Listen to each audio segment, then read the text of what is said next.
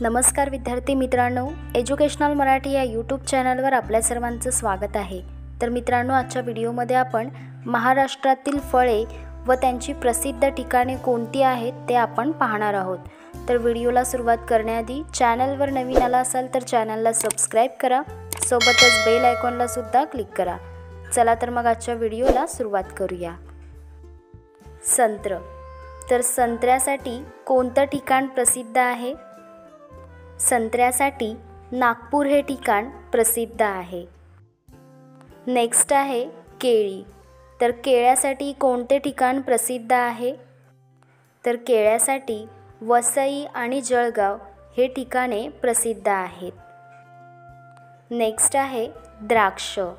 तर द्राक्ष ही कोणत्या ठिकाणासाठी प्रसिद्ध आहेत?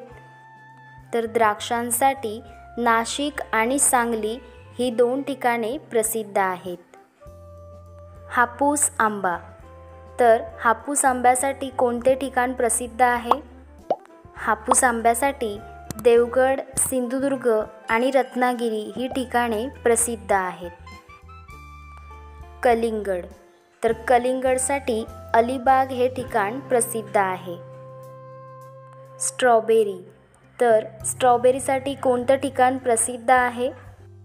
स्ट्रॉबेरीसाठी महाबळेश्वर हे ठिकाण प्रसिद्ध आहे. काजू. तर काजूसाठी कोणते ठिकाण प्रसिद्ध आहे? तर काजूसाठी मालवण आणि रत्नागिरी ही दोन ठिकाणे प्रसिद्ध आहेत. अंजीर. तर अंजीरसाठी राजेवाडी पुणे हे प्रसिद्ध आहे. पुढचं आहे बोरे. तर बोरांसाठी मेहरूम औरंगाबाद जिल्हा हे ठिकाण प्रसिद्ध आहे. पेरू. तर पेरू या फळासाठी दौलताबाद हे प्रसिद्ध ठिकाण आहे. सीताफळ. तर सीताफळ यासाठी दौलताबाद हे ठिकाण प्रसिद्ध आहे. नारळ. तर नारळासाठी कोणतं ठिकाण प्रसिद्ध आहे?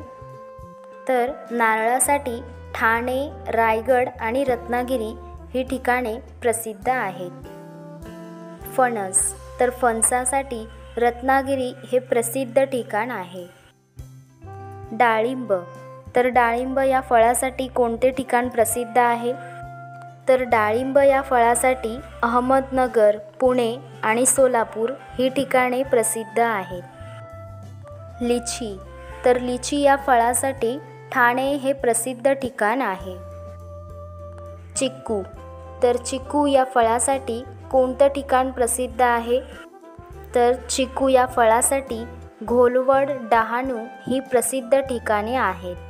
तर विद्यार्थी मित्रांनो आजच्या व्हिडिओमध्ये आपण महाराष्ट्रातील फळे व प्रसिद्ध ठिकाणे पाहिली आहेत. तर व्हिडिओ आवडला असेल तर व्हिडिओला लाईक करा. तुमच्या मित्रांना देखील शेअर करा आणि असेच नवनवीन व्हिडिओ पाहण्यासाठी एज्युकेशनल मराठी या यूट्यूब चॅनलला सबस्क्राईब करा. थँक्यू